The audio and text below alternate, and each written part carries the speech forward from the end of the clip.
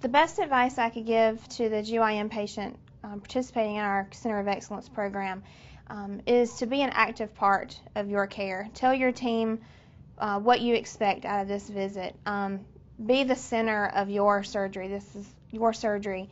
Um, we have a very patient-centered approach. Our whole team um, is very patient-centered, um, and we want to hear what you want. We want you to call our shots. We're not we're not here to to dictate how this day is going to go. So that's my best advice I could give to a patient.